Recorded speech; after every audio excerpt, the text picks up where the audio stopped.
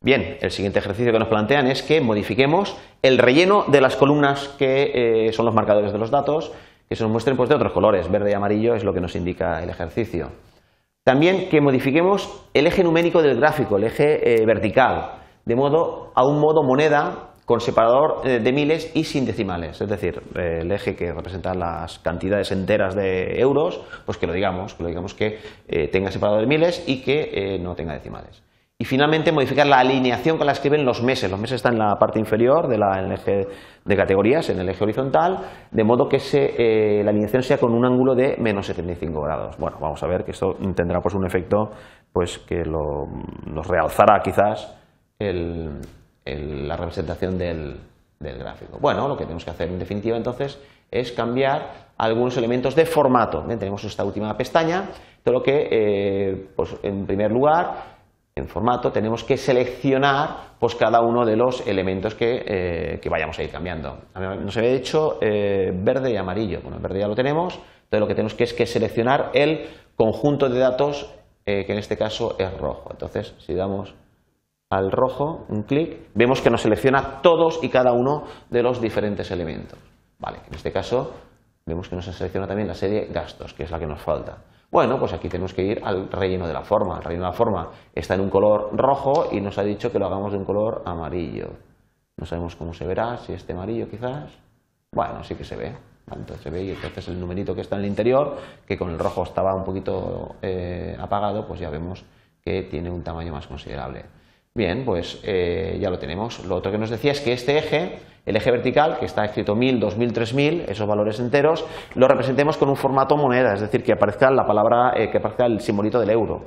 Vale, lo que ocurre es que, eh, bueno, lo seleccionamos, vamos aquí, vamos a seleccionar esta vez con el menú desplegable, que es el eje vertical, eh, eje, vertical, el valor, ¿vale? los valores, hemos seleccionado los valores, y estos valores les vamos a cambiar el formato de su presentación de, eh, los, de los ejes, aquí en la parte ejes, tenemos el eje vertical y el eje horizontal. En los ejes tenemos que el eje vertical primario vamos a tenemos varios eh, presets, varios eh, representaciones que por defecto suelen quedar bien, la de los miles, etcétera. Aquí la de los miles sería aplicable también correctamente, los millares.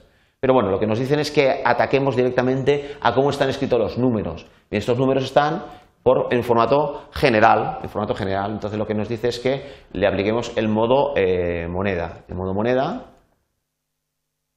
a si podemos. Nos ha quedado colgado. Bueno, ahí lo hemos aplicado, hemos hecho doble clic, no nos contestaba, pero bueno, vamos a intentar volverlo a hacer. Ahora lo pinchamos ahora de esta manera, volvemos al vertical primario, más opciones, número, vale, moneda, efectivamente, cuando seleccionamos el modo moneda nos, pone dos cifras decimales, que no es lo que queríamos. Nos pone el símbolo de miles, que sí que lo queríamos. Nos pone el símbolo de euros, que sí que lo queríamos. Pero nos pone dos decimales, que no lo queríamos. No lo Entonces, en este caso, lo que tenemos que hacer es ponerle un cero y en este momento cerrar y ya tenemos solucionado también este problema que nos habían planteado. Bien, el último que nos dicen es que los rótulos, los indicadores aquí del eje de categorías, los meses, en concreto enero, febrero, marzo, lo escribamos con una alineación pues no horizontal. Si seleccionamos este eh, conjunto de valores, seleccionamos, aquí lo podemos hacer, eje horizontal Fijaos que en el eje horizontal tenemos la categoría o el título. La categoría sería enero, febrero, marzo y el título sería meses. ¿vale? ¿Qué queremos cambiar? El tipo, ¿Cómo está escrito meses? No, queremos que, cómo está escrito enero, febrero, marzo. Pues entonces vamos a eje horizontal, categoría.